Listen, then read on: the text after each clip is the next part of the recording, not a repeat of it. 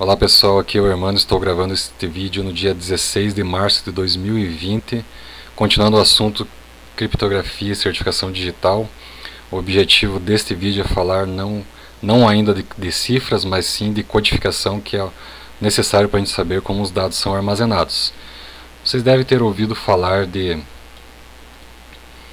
de que a menor representação da informação no computador ela é feita em binário. Então se eu consigo juntar 8 binários, ou seja, 8 bits, eu tenho 1 byte. Então, 1 byte é igual a 8 bits. Eu vou tentar armazenar aqui um caractere, uma, vamos pegar aqui uma letra A, e vou guardar essa letra A num arquivo. Vou fazer uma pasta aqui para a gente poder trabalhar. E vou armazenar aqui a letra A em um arquivo, arquivo.txt.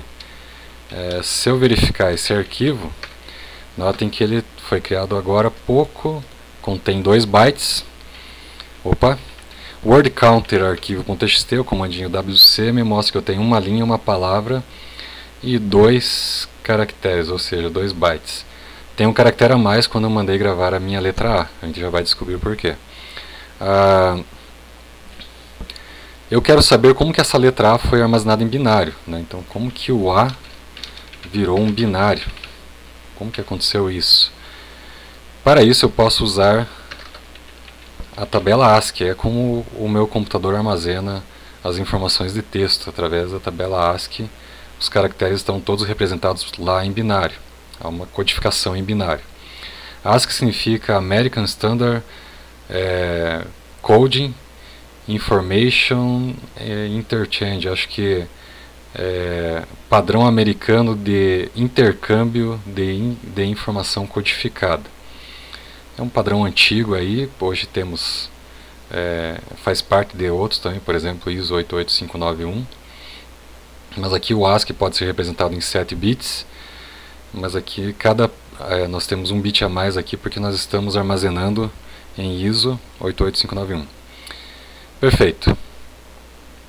Quero verificar essa tabela ASCII, como que eu faço para ler essa tabela ASCII. No Linux eu posso usar o próprio manual e digitar man ASCII, ou seja, MAN-ASCII, né? É man de manual.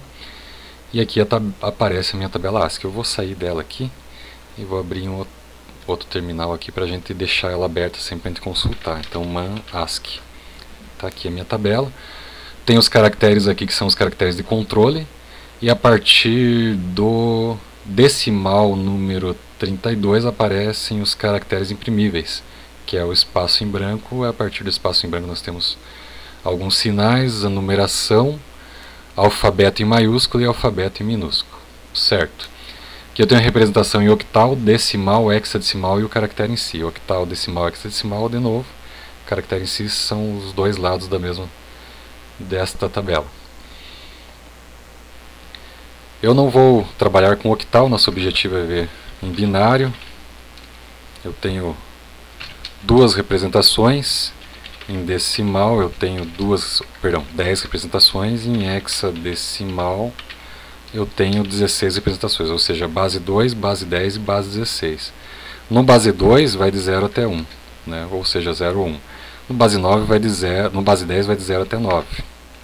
E no base 16 vai de 0 até 9, mas a partir do, do 10 começa a letra A, que vai até o 15, fecha com letra F.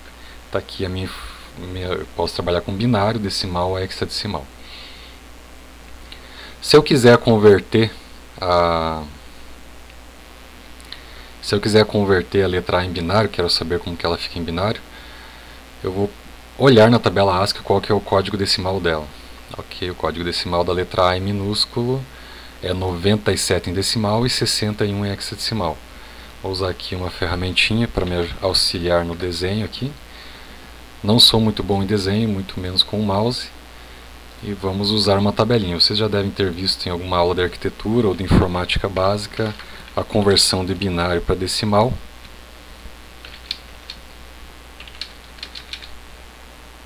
Basta você colocar montar essa tabela aqui, metade 4, 2, 1 e já colocar aqui o número 97. O número 97 nós vamos tentar ver como que ele fica em binário. 128 cabe em 97 não cabe, então aqui é 0. 64 cabe em 97, cabe. 97 menos 64 sobrou 33. 33 cabe, 32 cabe em 33, cabe, sobra 1. Agora ficou fácil. 1 não cabe em 16, perdão, 16 não cabe em 1, 4 não cabe 2, 1 cabe em 1, fechou. Eu tenho aqui a minha letra A em decimal, né? E aqui eu tenho a minha letra A em binário, 01100001. 01100001, se eu olhar lá na tabela ASCII, está aqui, então em binário eu achei, é 01100001. Tem um comandinho chamado xdump, xxd, esse comandinho xdump, ele, ele permite é, listar meu arquivo é, em hexadecimal, mas também em binário. Vou usar ele aqui agora, apresentando ele para vocês, em cima do arquivo txt. Então, xdump-b vai converter para binário o arquivo txt. Tá aqui, ó, apareceu minha letra A em binário, consegui converter bonitinho, e tem mais uma representação aqui depois, olha só, tem mais um caractere que eu não sei qual que é, ele não é um caractere imprimível. O xdump jogou um ponto no lugar dele ali para informar que não, não tem nada, tem alguma coisa por ali, mas não é um caractere imprimível. Vamos descobrir quem que é este binário. Então se eu colocar aqui este caractere, então 0, 0, 0, 0, 1, 0, 1, 0, eu tenho aqui o 8 para preencher né? e o 2. 8 e 2, isso aqui em decimal vai sair o número 10. O número 10 eu não sei qual caractere que é em ASCII. Agora vou lá para a tabela ASCII, vou dar uma olhada quem que é o número 10. Número 10 em decimal, aqui o número 10 é o new line, ou seja, é um, um caractere de controle, ele, ele dá um comando de nova linha. Então deve ser por isso aqui que ele foi armazenado junto ao meu arquivo. Ele diz que há uma nova linha após armazenar esse arquivo. Eu vou remover essa nova linha, vou fazer esse arquivo de novo. Fazer echo "-n", "-n" remove o newline, coloco a letra A dentro do arquivo .txt. Vou sobrepor esse arquivo. Se eu der um ls "-lr arquivo txt, agora veja a diferença, antes tinha 2 bytes, agora tem 1 um byte. Word counter arquivo .txt, está aqui, ó, nem uma linha, uma palavra e um caractere. Ótimo, se eu fizer xxd-b arquivo .txt, apareceu a minha letra A. Vou fazer um cat na letra A para vocês verem no arquivo para vocês verem o que, que, acontece. Como não tem uniline, olha só, a letra A fica grudada ao prompt do Linux, não aparece. Então era um caractere a mais. Certo, aqui está a conversão de binário para decimal, temos aqui uma representação na tabela ASCII. Agora vamos verificar como funciona o base 64. Eu quero pegar essa letra A aqui e passar ela para a representação de base 64. É, o A em binário eu já sei como ele ficou. O A em decimal é o 97.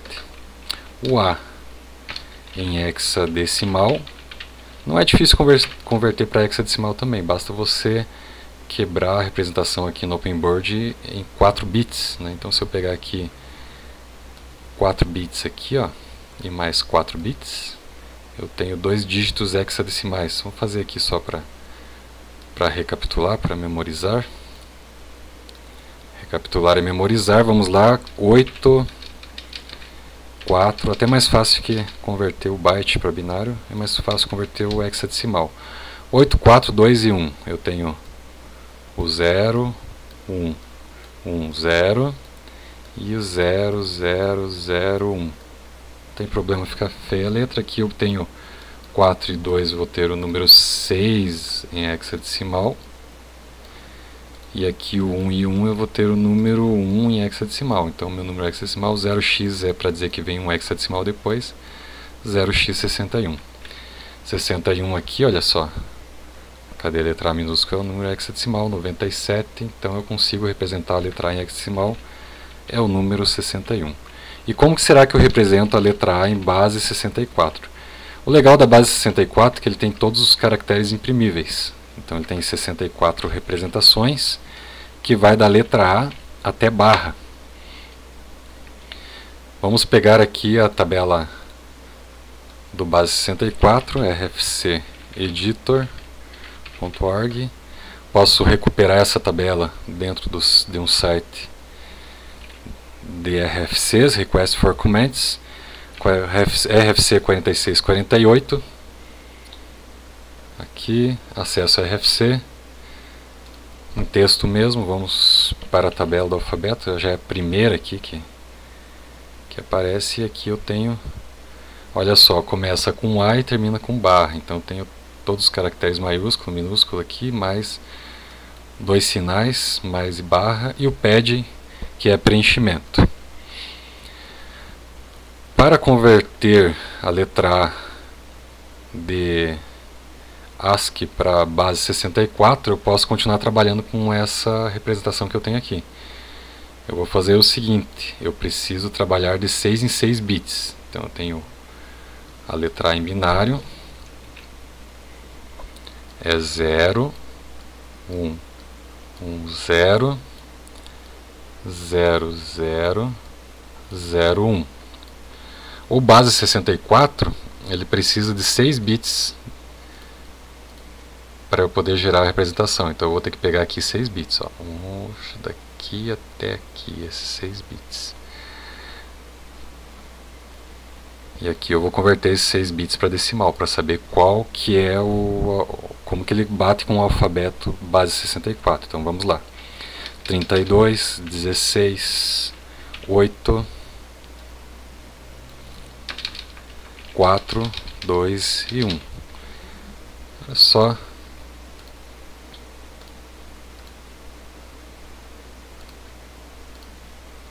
Só ver onde que ele pegou aqui o 16 e pegou o 8. 16 mais 8 é o número 24 em decimal.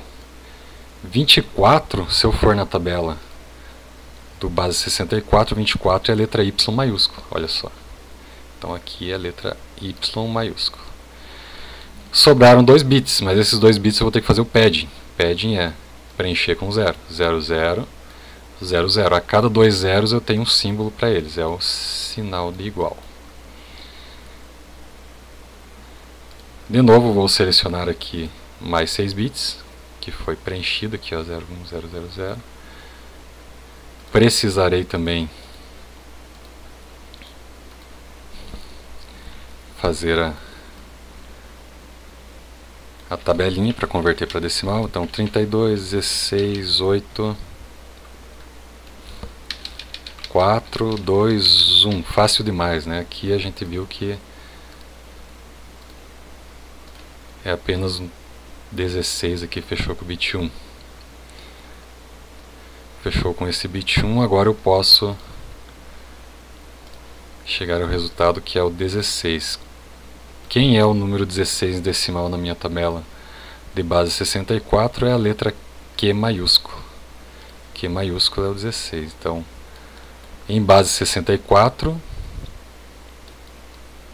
a minha letra A é igual a Y, Q e mais o padding, o preenchimento yq igual igual. Vamos salvar aqui essa informação, yq igual igual. E já posso usar aqui um comandinho de base 64 para ver como que fica a letra A. Então base 64 e digitar o nome do arquivo, o resultado yq igual igual. Tenho 4 bytes para representar um base 64. Então cada dígito binário aqui é um bit, aqui é em decimal, eu preciso no mínimo 4 bits para representar de 0 a 9. Aqui no full, né, 4 bits representa de 0 a 15. E aqui eu preciso de 6 bits para representar um base 64. Pessoal, esse, esse vídeo agora é apenas para mostrar a parte de codificação de ASCII até base 64. No próximo vídeo a gente continua um pouco mais com base 64. Agradeço a atenção de vocês, obrigado por acompanhar esse vídeo.